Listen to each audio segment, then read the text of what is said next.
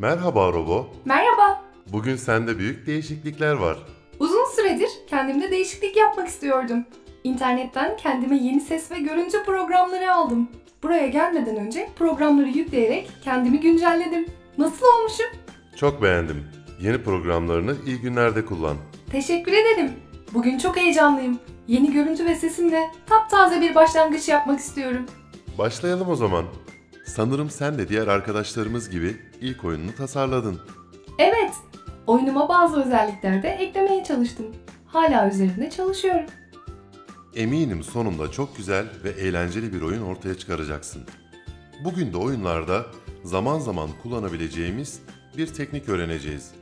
Kuklayı hareket ettirme. Nasıl? Anlamadım. Biz zaten kuklayı hareket ettirmiyor muyuz? Neredeyse ilk videodan bu yana her uygulamamızda kuklayı konumunu değiştirerek hareket ettirdik. Bu soruyu soracağını tahmin etmiştim. Pygame Zero'da kuklayı hareket ettirmek için farklı teknikler kullanabiliriz.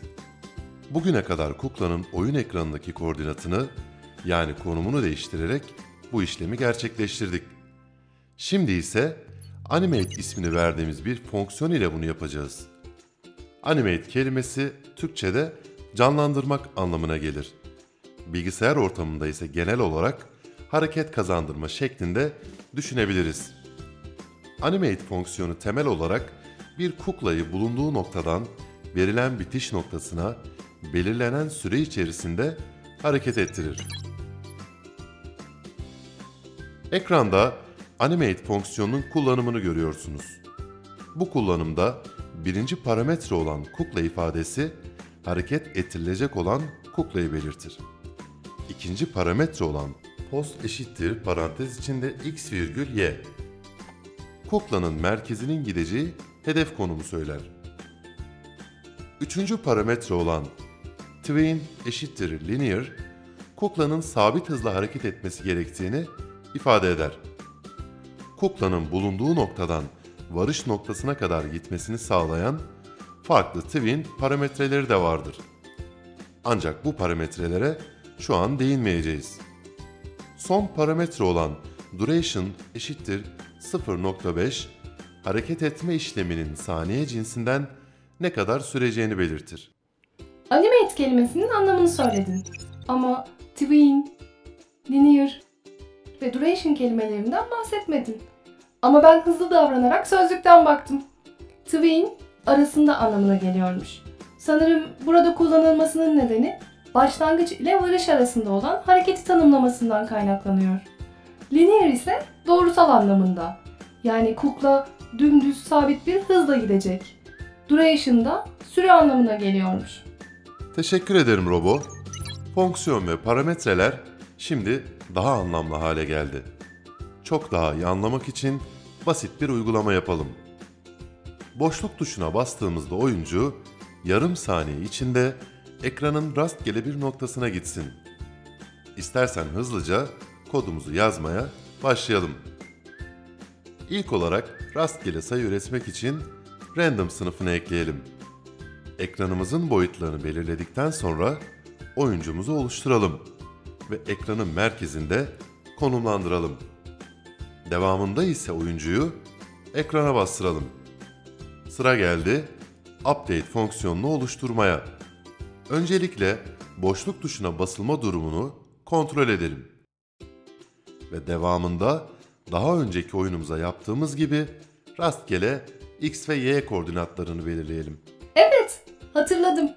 Kuklalar dışarı taşmasın diye x ve y değerlerini tanımlarken oyuncunun eninin yarısı kadarlık bir kısmını ekranın en sol ve en sağ, oyuncunun boyunun yarısı kadarlık bir kısmını ise ekranın en üst ve en alt bölgesinden çıkararak rastgele sayı üretiyoruz. Doğru. Bu şekilde daha uygun bir sonuç elde edebiliyoruz.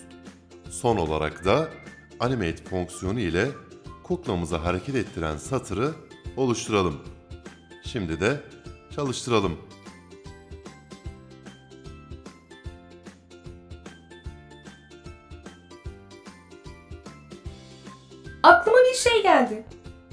Zamanda oynadığım bir oyun vardı. bir uzay gemisiyle ekranın üzerinden gelen meteorlara ateş ediyor ve meteorlara çarpmadan sağa ve sola hareket edebiliyordum. Bu komutla sanırım buna benzer bir şey yapabiliriz. Neden olmasın? Hadi deneyelim. Önce basitçe sağa ve sola hareket eden bir uzay aracına ve bir de lazere ihtiyacımız var. Ekranda görünen adresten hem uzay aracı hem de lazer için gerekli görsellere ulaşabilirsin. Ben sana verdiğim bağlantıdan ekranda gördüğün uzay aracını ve kullanmak istediğim lazeri seçtim.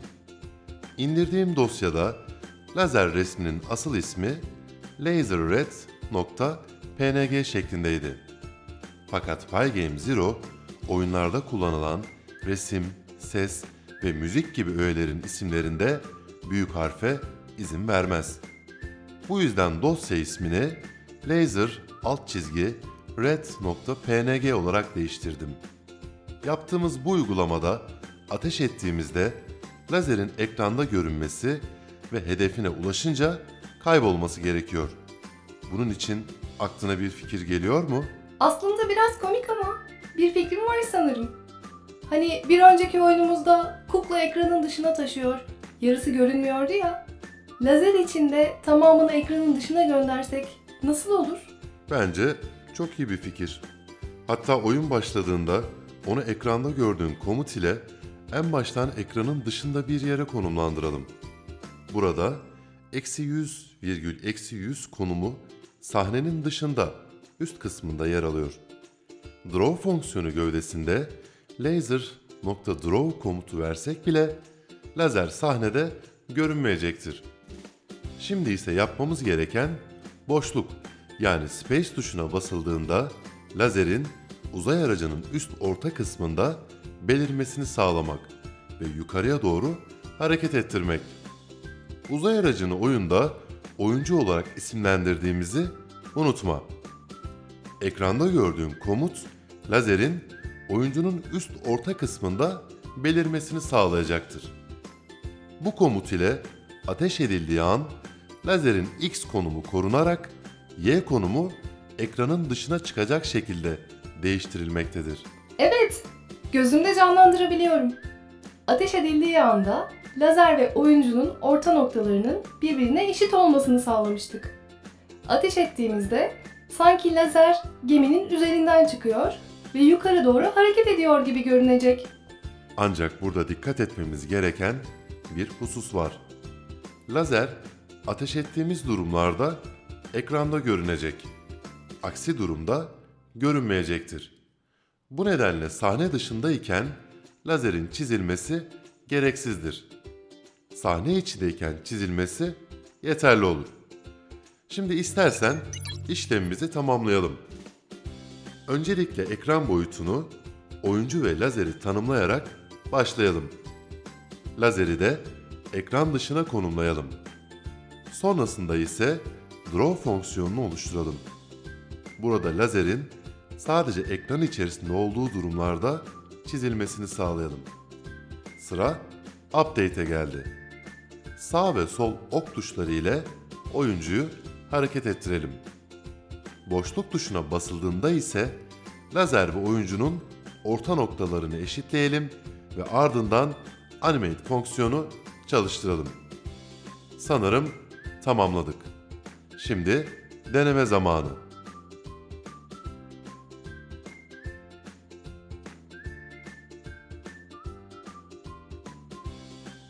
İstediğimiz gibi çalışıyor.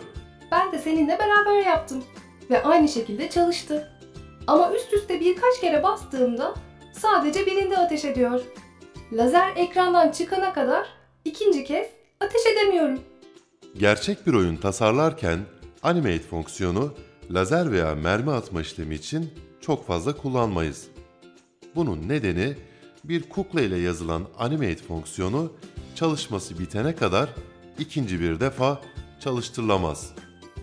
O yüzden lazer ekranın dışına çıkana kadar tekrar ateş edemiyoruz.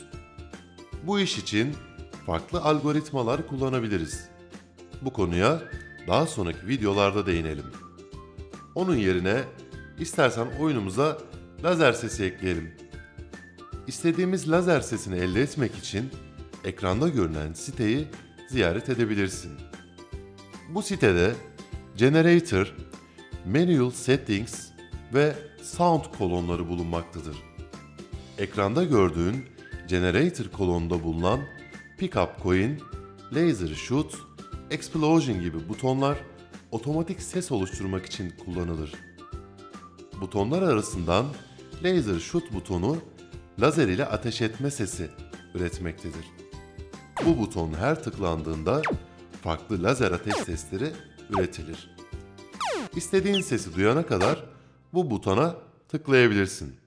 İstenen ses elde edildikten sonra ekrandaki gibi sound kolonu altında bulunan laser shoot.wow bağlantısı sağa tıklanarak bağlantıyı farklı kaydet seçeneğini seçmelisin. Bir pencere açılacaktır. Bu pencerede dosya ismine lazer alt çizgi ates.wow ismini verip mu editörde bulunan Sounds klasörünün altına kaydetmen yeterli olacaktır.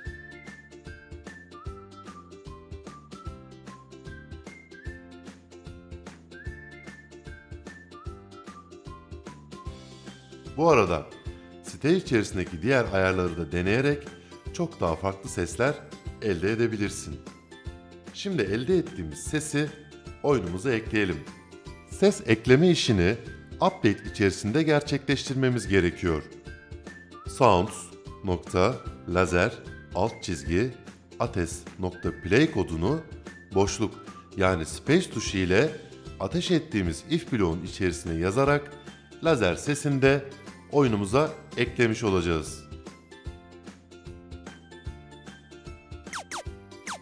Evet, sonunda hareket eden ve ateş eden bir uzay aracımız oldu.